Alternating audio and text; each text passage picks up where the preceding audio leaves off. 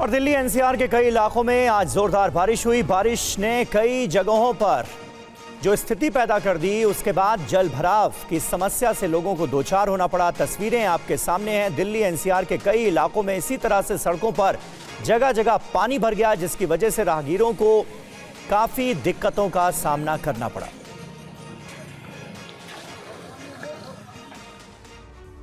पटना में आज मूसलाधार बारिश हुई है। सचिवालय के बाउंड्री वॉल का एक हिस्सा भी इस दौरान गिर गया है। दीवार गिरने से किसी को कोई चोट नहीं आई है लेकिन सचिवालय के एक बाउंड्री वॉल का गिरना ये बताता है कि बारिश किस कदर जड़ों को हिला दे रही है।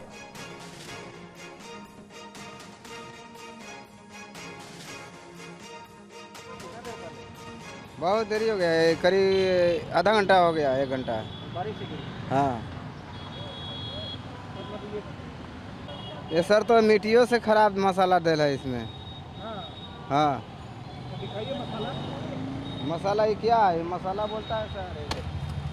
मसाला बोलता है ये। क्या है? मिट्टी है क्या है? मसाला है। ये मसाला बोलता है देखिए कौन मिस्त्री है ये इसमें? देखिए खाली बालू दिल है। काम मतलब ठीक से नहीं हुआ। काम ठीक से नहीं हुआ। जैसे गिर गया इसी वजह से गिर गया। लिंटर नहीं हुआ। लिंटर नहीं हम्म। इसमें पाइलिंग होगा लिंटर लिंटर होगा तब टिकेगा सर। दस इंची का। नहीं डाल रहा है वो तो स्टाफ लेबर लोग और एथी सब बताएगा।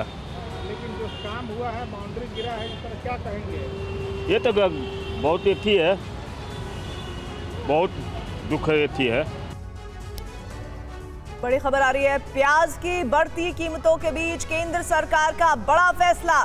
दिल्ली एनसीआर में सस्ता प्याज बेचेगा केंद्र सरकार और नेफेड साथ ही एनसीसीएफ के ज़रिए प्याज सस्ती दरों पर बेची जाएगी पैंतीस रुपए किलो।